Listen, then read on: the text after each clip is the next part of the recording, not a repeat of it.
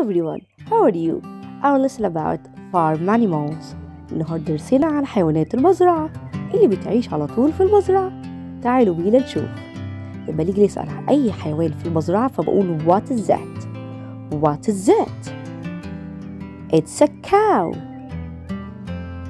Cow. Cow. Rooster. Rooster. Rooster. Sheep. Sheep. Sheep.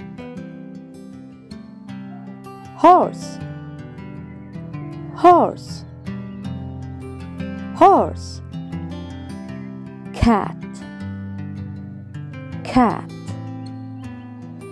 Cat. Goat. Goat. Goat. Mouse. Mouse. Mouse. Turkey. Turkey. Turkey.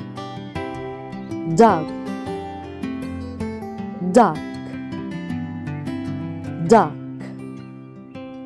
Rabbit. Rabbit. Rabbit.